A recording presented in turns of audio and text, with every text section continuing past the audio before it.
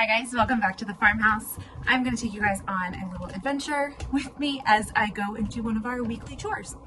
I am heading down into our basement to feed our worms. Yes, we keep our worms in the basement because it is cooler and because they're just out of the way. So we have a bathroom in the basement and that's where we keep our worms. So that's where we are heading. So this is our basement bathroom and here is our lovely worm bin. We started this worm bin, I guess about a year ago, maybe a year and a half ago. We started by drilling holes around this upper part for um, ventilation and just to give them air. Then we shredded up a bunch of newspaper and put that in the bottom. On top of the newspaper, we did two blocks of coco coir and then instead of ordering worms from an online supplier, which we have nothing against online suppliers for worms, we just found worms in the backyard and we were like, oh, let's just throw these in. So that is what we did. They were um, red wigglers or red wranglers. I don't remember exactly what kind they were, but we threw those in the worm bin. I think Jamie collected them two or three times. We had about 150 worms.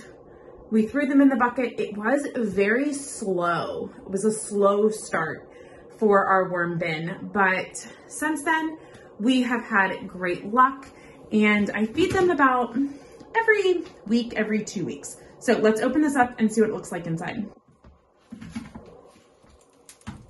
Ooh, look at that. I can see a worm right there. Where is it? Right there. So it is looking pretty good. And just like I suspected, it is, or they are, probably pretty hungry. So I brought down, we have some kitchen scraps today, just some banana peels, apple cores, some paper towels, and some grape stems. So I'm going to put those in here. The way that we do this is we rake everything to one side and I try to get almost all the way down to the bottom. And then I put the food in and then I cover it back up. I am already looking in here and especially over here in the corner, this looks really wet.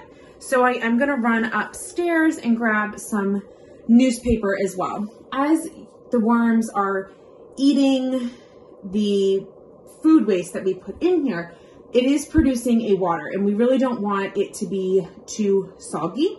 You can put holes in the bottom of your worm bin to help with drainage. We did not choose to do that, so we add newspaper now and again to help soak up some of that water.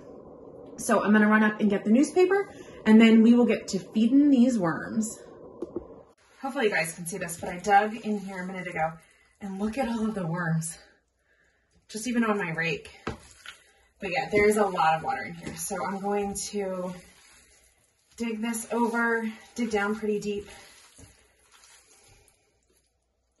I think that's a pit of something. Okay.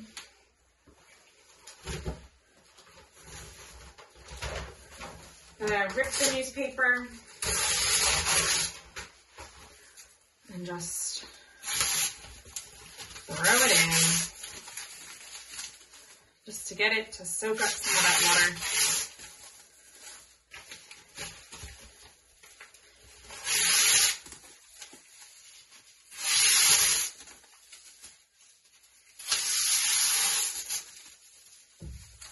Not only is the newspaper soaking up the water, but the worms will actually um, feed on the newspaper as well.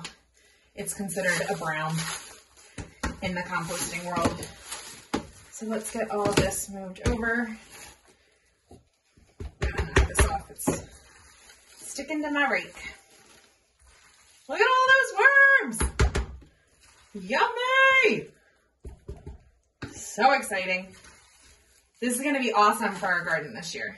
I'm super excited about this. All right, let's do, I'm going to dump this food in first. You can cut your food scraps up smaller. I don't have time for that. We just use the big scraps.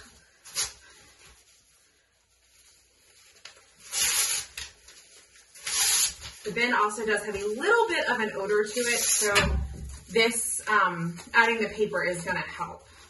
That is another reason we keep it in the basement because if it does have an odor, then it will keep that down.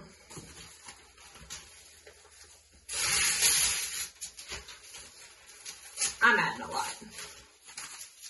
There we go. All right. Cover this up, push this down, cover this up.